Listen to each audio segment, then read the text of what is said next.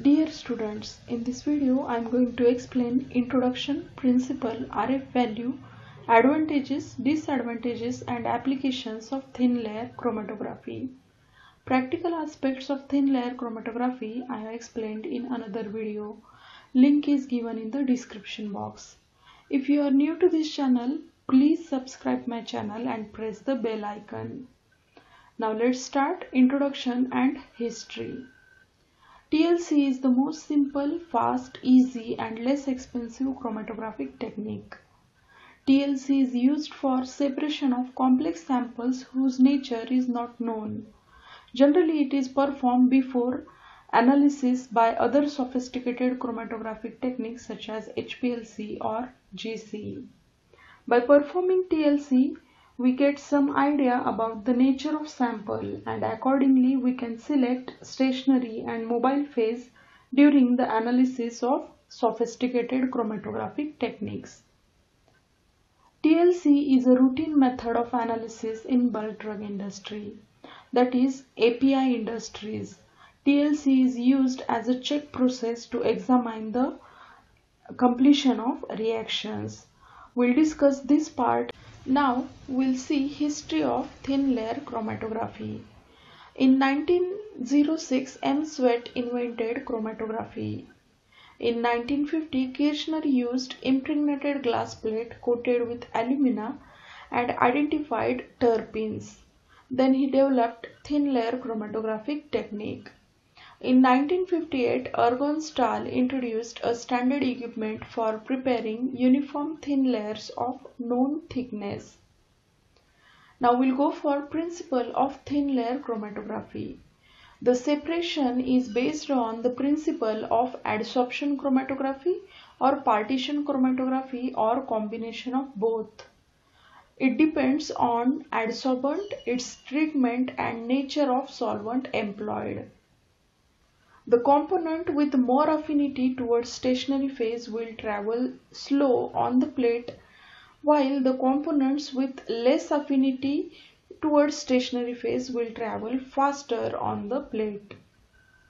The separation occurs due to distribution of solute molecules between stationary phase and mobile phase.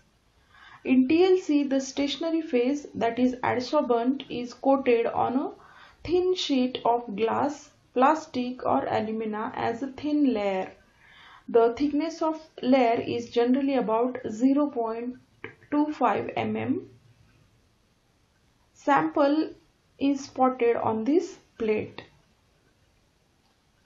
Mobile phase is allowed to run through the plate and after development of the plate RF value is calculated for each solute. Now the experiment will look like this in a chamber the mobile phase is placed and the plate with the sample is placed in that chamber. Afterwards lid is kept. The solvent will run through the plate due to capillary action and after certain distance traveled by the solvent the plate is removed dried and visualized. After visualization the plate may look like this one. Suppose this is the TLC plate the baseline on the TLC plate where the sample is spotted. Suppose the sample traveled this much distance and the solvent traveled this much distance on the plate. Now the distance traveled by solvent is known as solvent front. Now y is the distance traveled by solute from baseline and x is the distance traveled by solvent from baseline. Now by using these two distance RF value is calculated. The formula for RF value that is retardation factor is distance traveled by solute from baseline upon distance traveled by solvent from baseline. Now this formula is used for calculating RF values. RF value is the most important factor in identification of sample. Now we'll go for methodology of TLC. The first point is selection of stationary phase that is adsorbent. A stationary phase which gives good separation of given sample mixture is selected. The selection depends on chemical composition of stationary phase and, and particularly its surface. To obtain good separation, the mean particle size, particle size distribution and morphology of particle must be considered. Generally for TLC the particle size distribution is 2 to 10 micrometer. Now here are some examples of stationary phases with predominant separation mechanism and use. First is silica gel. Its uh, separation mechanism is adsorption or partition. The exact mechanism is not known Generally, it is used for all type of samples. Next one is modified silica gel. Again, it is used for all type of samples. Alumina, the mechanism of separation is adsorption or partition. It is used for again all type of samples. Kieselguhr, the mechanism of separation is partition and it is used for separation of sugar samples. Next one is cellulose powder whose separation mechanism is partition and it is used for separation of amino acids, nucleotides and food dyes. So these are few examples of stationary phases which are used in thin layer chromatography. Now we'll go for selection of mobile phase. Selection of mobile phase or solvent system or eluent is most important parameter to achieve efficient separation by thin layer chromatography. The selection is based on sample solubility in mobile phase. If the sample is soluble in mobile phase, that is selected for TLC. That solvent is selected as mobile phase in TLC. A more important property of solvent is its ability to get itself adsorbed on adsorbent. That means the mobile phase molecule should be adsorbed on the stationary phase and there is a competition between solid molecules and mobile phase molecules to get adsorbed on the stationary phase and this competition will give separation of sample.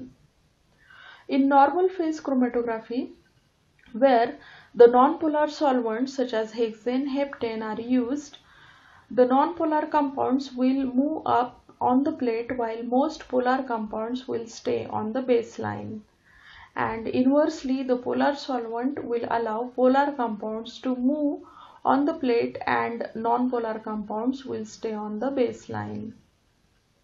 The most suitable solvent in TLC is one which moves all compounds up from the baseline and gives RF value between 0.15 to 0.85. Ideally, the RF value should be in between 0.2 to 0.4.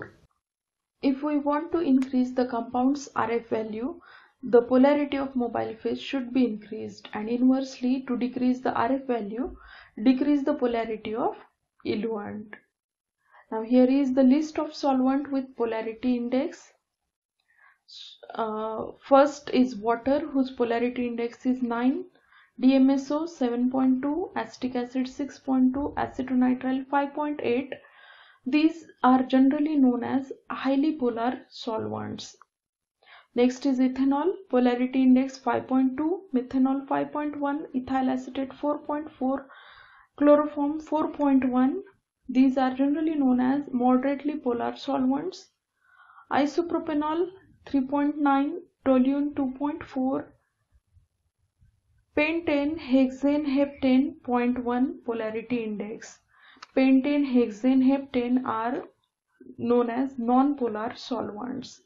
So this is the polarity uh, solve this this is the list of solvents with polarity index.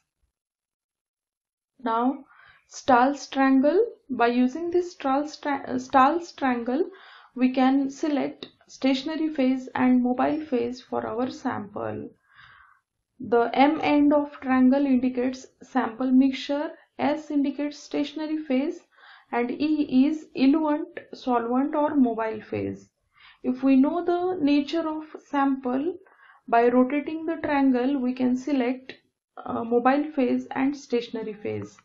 For example, if our sample is hydrophilic, our stationary phase should be inactive and our mobile phase should be polar in nature.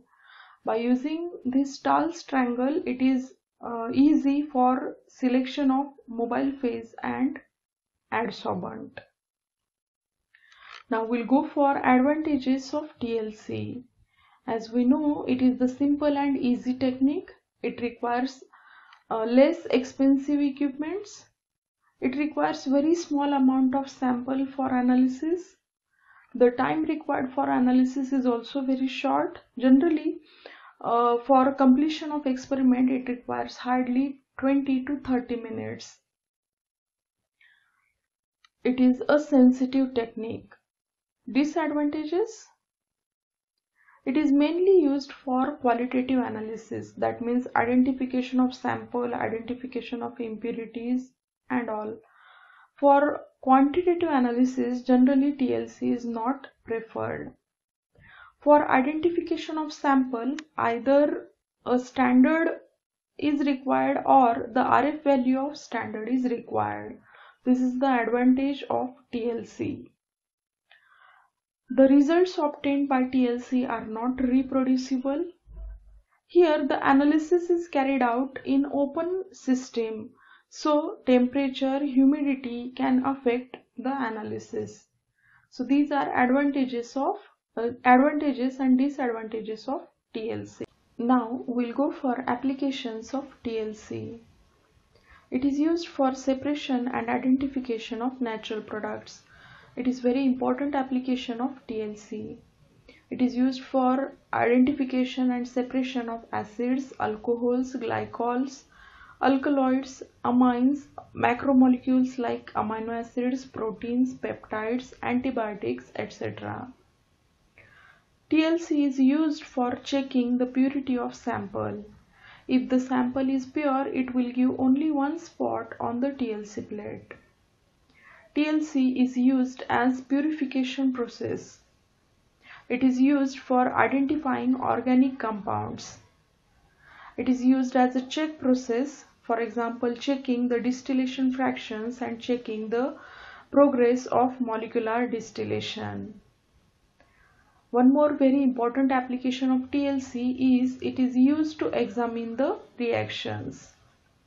For example, it is used in uh, uh, checking the reaction completion in bulk drug industries. Here, suppose this is the TLC plate. Here we have to spot three samples, three spots. First is of starting material spot, second is reaction mixture and third one is final product. And after development, if we uh, get the spots developed like this one the starting material has traveled some dis distance. Reaction mixture has also traveled some distance but it is not matching with the starting material distance and not even it is matching with the final product's distance. That means the reaction here it is incomplete reaction. Now after some time let the reaction complete and after some time we have to spot another TLC plate with the three samples that is starting material reaction mixture and final product and after that if we get the TLC plate like this one then we can say that the reaction is completed because the spot of reaction mixture has traveled the same distance as that of final product. That means the starting material is completely vanished from the reaction mixture and it is converted into the final product. It indicates the completion of reaction. If you like my video, please subscribe my channel and press the bell icon. Thank you for watching my video. Thank you very much.